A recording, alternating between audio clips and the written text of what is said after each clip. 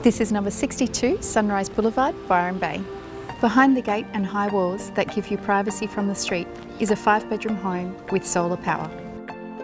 This home has been beautifully renovated to bring it right up to date, with an eye on the outdoor entertaining areas. Plus, you could use it as two separate residences if you wished.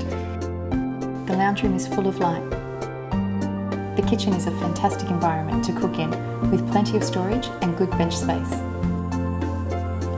Moving through the home, you'll find a sitting room adjoining a sunroom with the wet bath. At the rear of the home is the master bedroom with a walk-in wardrobe and an ensuite. Outside are covered entertaining areas. Out the front it's alfresco dining and a fire pit. Now this is fantastic. Sunrise has a great community with unrivaled facilities and lifestyle.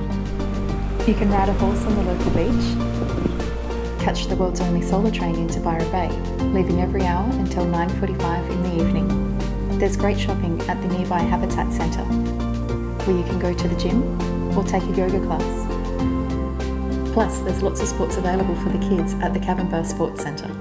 I can't think of any other homes that offer this style of living in a community with so many options for recreation and facilities right at your doorstep.